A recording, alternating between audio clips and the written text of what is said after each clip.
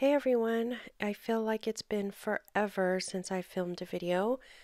Our living situation has changed a bit and it's become very challenging to make videos, especially with audio. So I'm trying to figure out creative ways to film, which means like filming with no sound and then doing a voiceover. So that's what I'm trying today.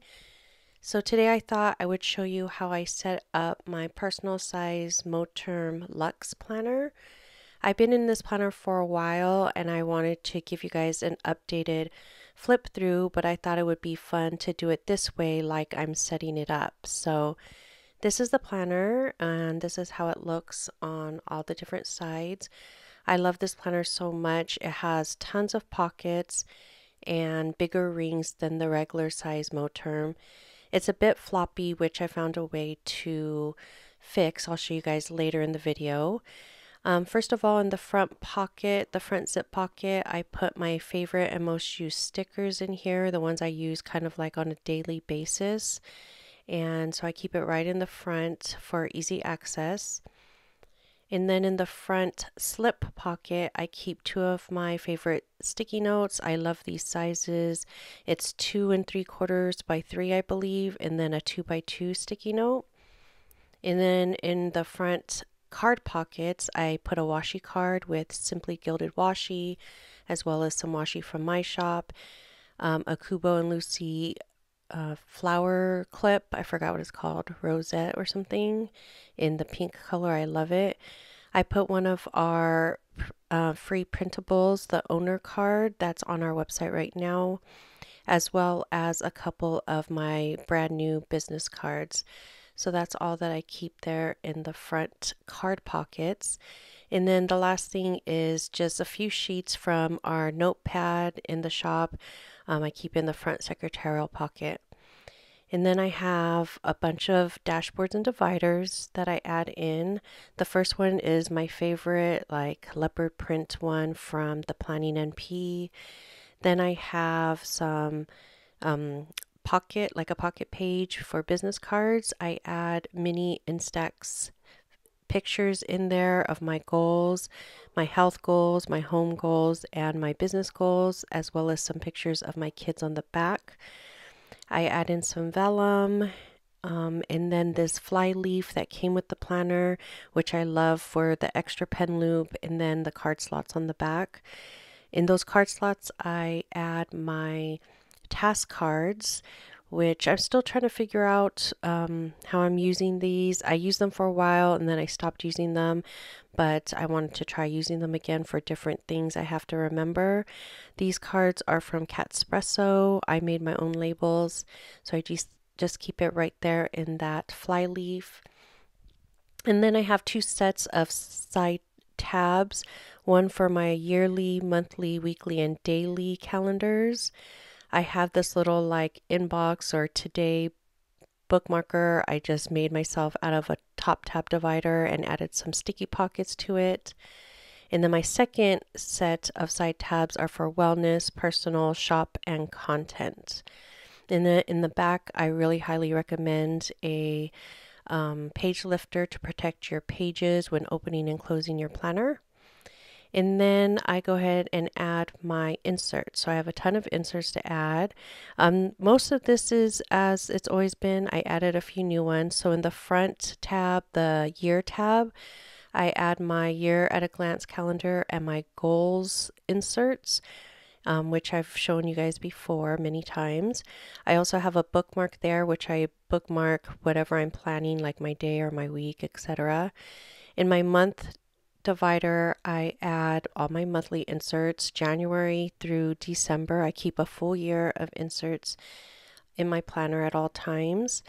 And then luckily, I just opened up to the June there. That was by luck. But um, right after the current month, which right now is June, I add this monthly task insert, which I put just some tasks for the shop there. And then at the back of my monthly inserts, I keep that important dates insert, which I use for pre planning the following year. And then in my weekly section, I add my weekly inserts. I've been using these like quadrant kind of inserts, which I love from our shop. And then in our daily section, I keep a whole month's worth of daily inserts. Um, so a ton of inserts there, but I do use them most days. So I keep one there right next to my inbox um, divider, and then I keep all the rest in behind that. And these ones, I do have these in the shop, but these ones I made special for myself with the extra grid note paper on the back, um, as you can see there. And then I go to my back sections. The first one is wellness, which I keep some tracking inserts there um, for tracking different health things, mostly health things because this is the wellness um, section. I'll show you guys more about that later, but I keep just those there. And then in the next section, which is personal, I just keep one of our finances insert to track our spending each week. And then the next section is shop, which I have a couple inserts for tracking business stats, um, like revenue, expenses, and all that kind of stuff. And then my last divider is for content. And then I just created this new content checklist, which I keep in the back. And then I have some extra grid note paper, which I divide up and put in each of those four sections in the back. So I just keep extra note paper there for any projects or note taking for those different categories. Um, these back tabs are mainly for tracking and project planning. And then since I do carry my planner with me everywhere, I use the back section as a wallet.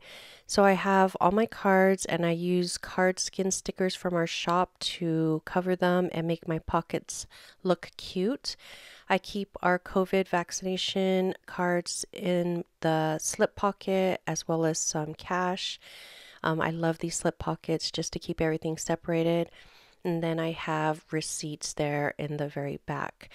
And then in the big back pocket, I keep this ugly piece of cardboard. I've been meaning to get a cute one, but for now, this does the job. I keep it there to put a little more structure to my planner. And then I just keep miscellaneous pieces of paper back there that I need to tend to. And then of course I have my favorite gray Mildliner and my erasable friction pen there in the pen loops. And then I wanted to show you guys that um, the way I mark my places, like the current month or the current week, is with these little page flags. These ones are from Villa Beautiful. I love the animal print, of course, so I just keep it there to mark the current month and week.